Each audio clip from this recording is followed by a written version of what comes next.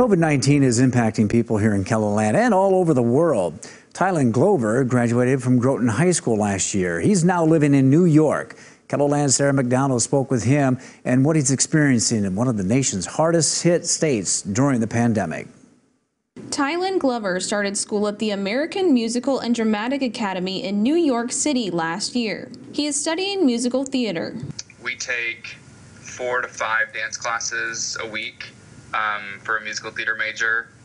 You take musical theater performance, acting classes, uh, um, voice and speech classes, singing lessons.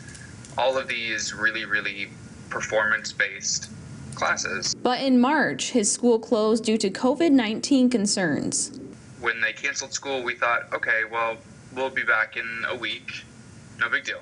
So, me and uh, my roommate moved back. Um, his mom came and picked us up.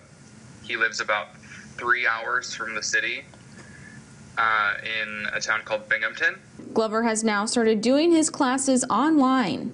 Additionally, he says the state has put social distancing rules into place. Now you can't leave the house without a mask. You you will not be let in anywhere without one. Glover says his school is hoping to start in-person classes again in June, but until then, he's staying positive. We try and walk, go for walks. There's a nature preserve across the street um, from where I'm staying, so we go there, and there's a, a river that we walk along to try and get some fresh air.